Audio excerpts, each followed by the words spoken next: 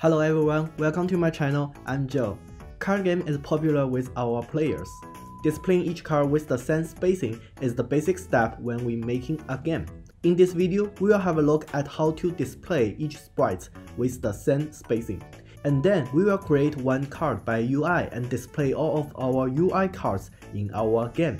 No matter how many cards we have, we can display with the same spacing either. All stuff will be controlled by our script. Okay, let's get started. Here, let's open up Unity and create one 2D project. In this episode, we will need one font used for our UI text and several sprites for our project. You can go to the website to find any font what you want. I will also be linking all of the assets we are using in this video in the description box, so you can grab them for free. So first, let's drag all of our assets folder inside our project.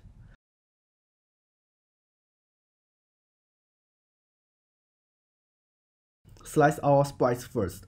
Choose the multiple types and open the sprite editor.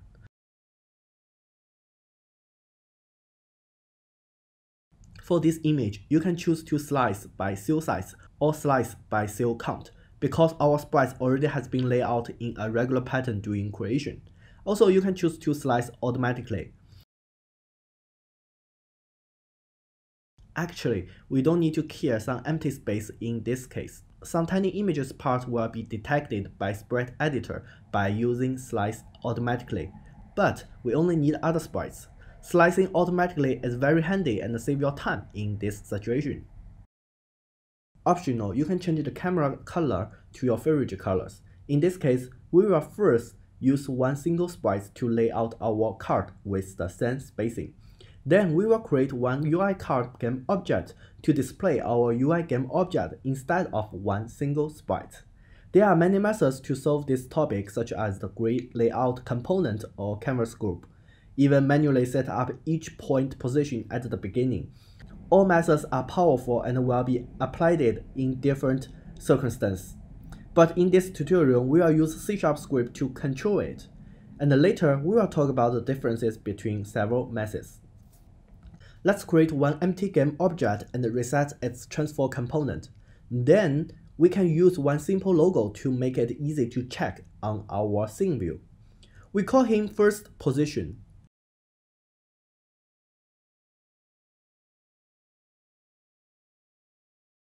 We want our sprites to display in one line so that we need another point. Duplicate our game object and drag to here. And change another logo for our last position. Both of them have the same y-axis value. They stay in the same horizontal.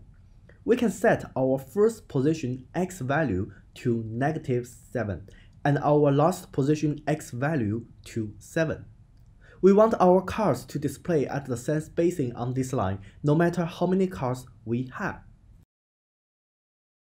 Let's drag one sprite to our hierarchy and change his size.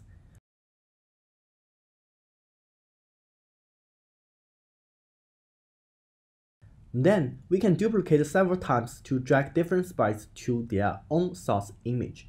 The reason is that we want to first create several game objects as prefab and then we will display these game objects in the game.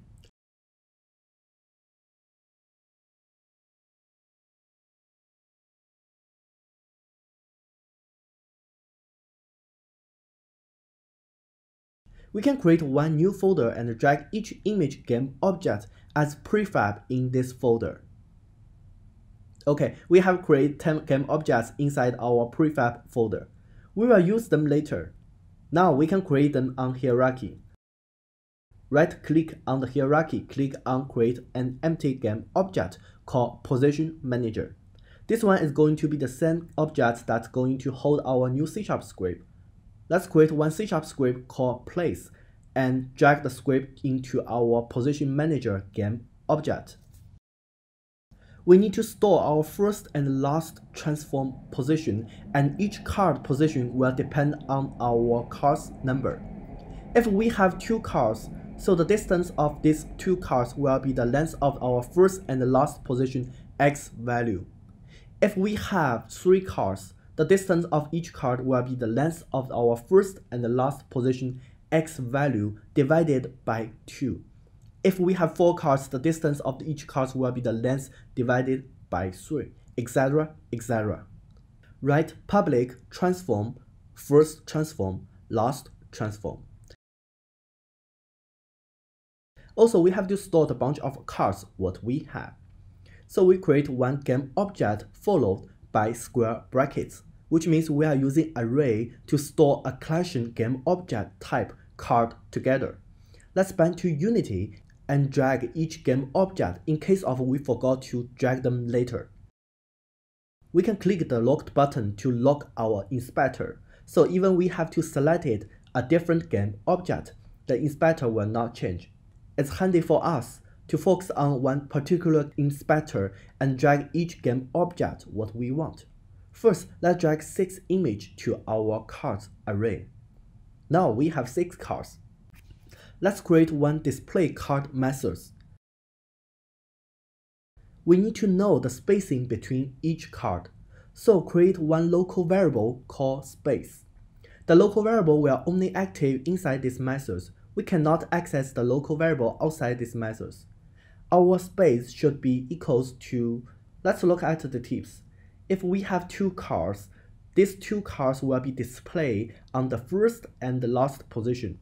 If we have three cards, the second card will be displayed on the middle of our point, and its spacing will be the length divided by 2.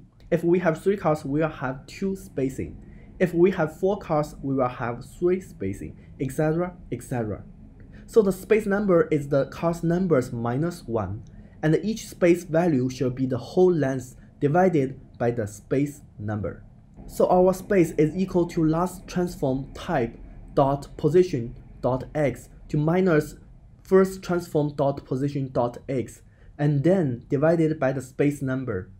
The space number should be the car's number minus 1.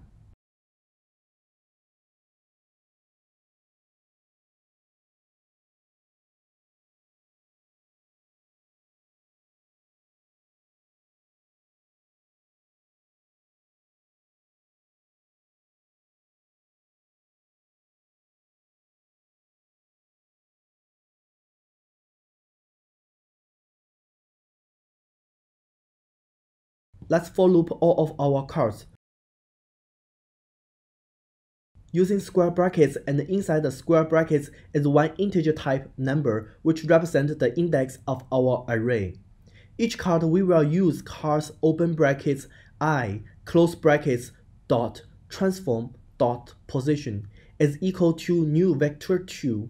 The x position should be the first position dot x and then add the space multiplied by i and the y value shall be the first transform dot position dot y or last position dot y because their position y value are the same value on the y-axis. We know that the first index of our array start from 0, so we can list several situations to test. If we have two cards, our first card will appear on the first position and our second car will be located on the last position. If we have three cars, four cars, etc. You can list these several conditions and understand why we need to multiply by i in the position x. Save the script and bind to Unity. Now we have six game objects, which has stored on the position manager script. We can drag these six prefabs to the hierarchy.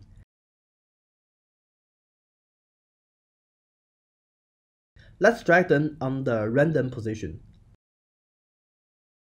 Don't forget to call this method in our script. And then press play. Hmm, nothing happens. Back to Unity, let's drag our game object to the position manager script again.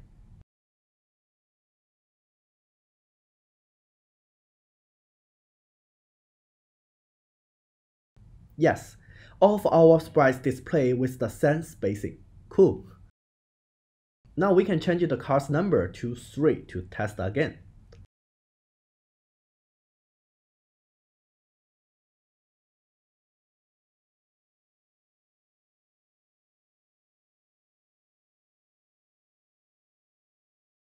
Now we can change the number to 10 and see no matter how many cards we have, our cards always display with the same spacing.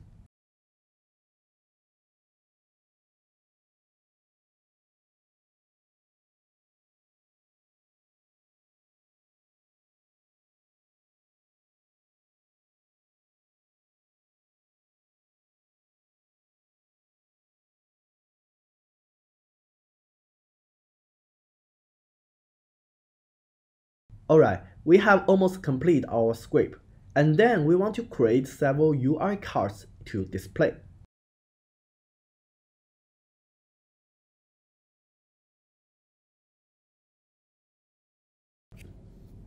Let's create one UI canvas. In here, we need to choose the world space mode. In this mode, the canvas will behave like any other object in the scene. The size of the canvas can be set manually using its rect transform, and the UI elements will render in front of or behind other objects in the scene based on 3D placement. Many times we choose to the overlayer mode, and the overlayer mode display on the top of the scenes and hard to control the UI elements position we will have many UI cards and we will treat them as a normal game object in the scene. And the other settings we don't really have to worry about.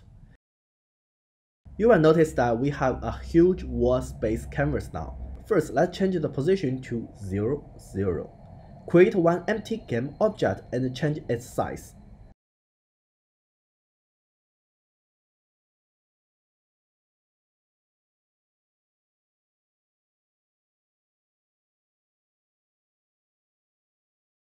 Scale down this empty game object, and if the size is not provide what we want, of course go back and manually change its size later.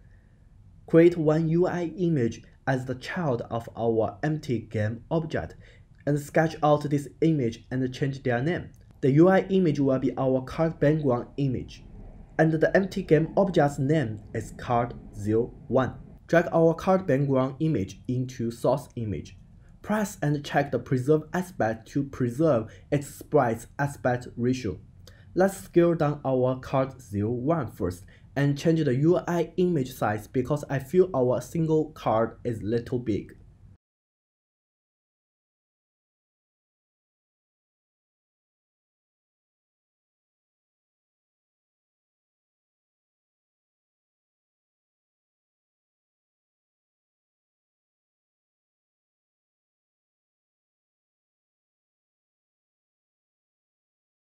Then create one UI image as our card HP image. Change its size.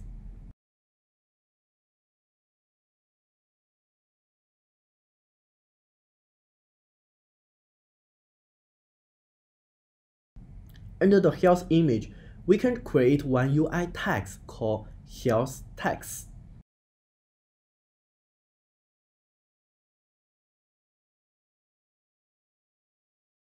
You will notice that it's very hard for us to see the text number now. Let's change the UI text scale to 0.01 and then zoom in the UI text size and enlarge the size to the right size. Give the text content number 2.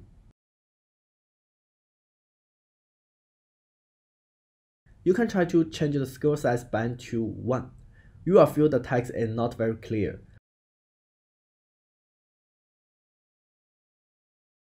Also, you can choose to the Text Mesh Pro either. Optional, you can add the outline component to highlight this text. Then, you can duplicate our health image group to make our attack and mana UI parts. Because each image has a different size, you can manually change their position and its size for the best effect.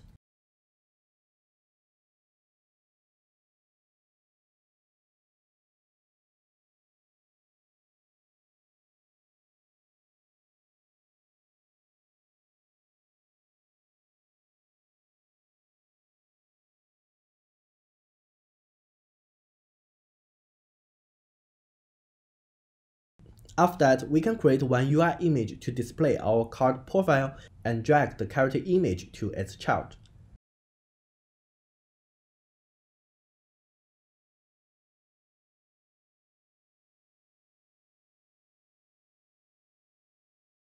Also, we can create one UI image to display the card name and the name content text.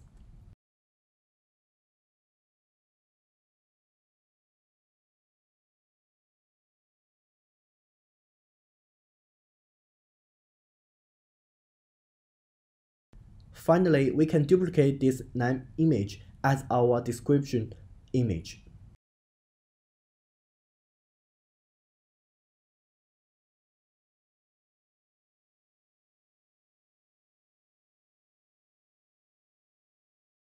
If you find some of UI parts are covered by others UI images, you can select them and change their order on the hierarchy.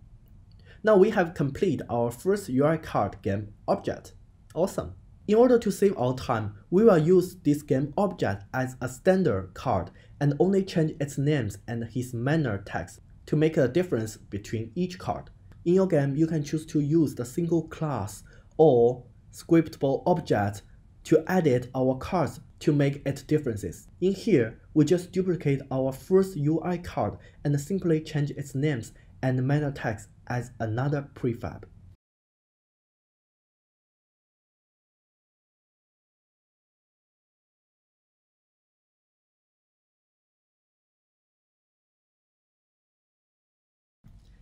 Okay, we have complete 10 UI cards prefabs. Actually, we need to type something on our C-sharp script.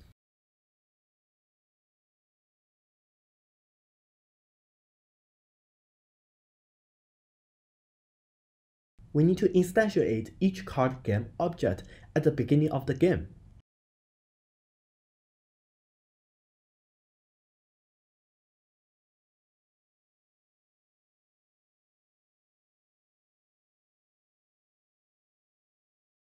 Back to Unity, we have 5 UI cards. Drag each prefab and press play. Hmm nothing happens. But if we focus on our hierarchy, actually we have instantiated them, but they did not render on the scene. The reason is that we create these UI cards on the world space canvas, but these UI cards did not attach to our world space canvas yet. In play mode, you can try to drag one of our UI cards under the world space canvas. It works.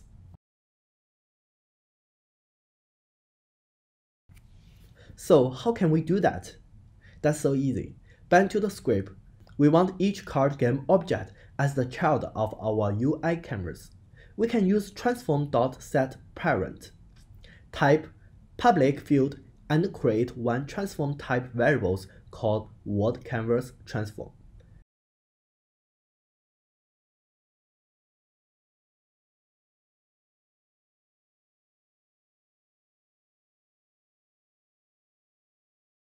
We want our new card as the game object type when he was instantiated. Then each new card will be attached to our world canvas transform. New cards dot transform dot set parents WorldCanvas transform. Drag our world space canvas to the right position. Import the card number to 5 and press again. Yeah, five cards display on our screen, and all cards has the same spacing with each other. We can change the size of our cards to 4 and try again. In this case, when we use C-sharp script instead of setting up position manually, if we use manually, we have to determine how many cards in our hand and each situation has different point positions. And we also need another different C-sharp script to list all of our conditions. But in our methods, using a simple C-sharp script to achieve all circumstances and display card with the same spacing no matter how many cards we have. Alright, this is the end of this video. In the next episode, we will discuss how to start our card game randomly and get different numbers of our cards depends on our player order. In that case, we will place each position manually and focus on our code such as the list, singleton pattern, odd and even number, function with the parameters, and many other things. Hopes you can learn a lot in this summer. As I mentioned, all of the assets and the complete project can be downloaded from the link below. The text version will be uploaded if my accent is not clear enough. If you want to watch more videos about Unity tutorials, Photoshop, Adobe Illustrator, and game design, you can click my profile and subscribe to my channel. I'm so appreciate. Alright, see you in the next time.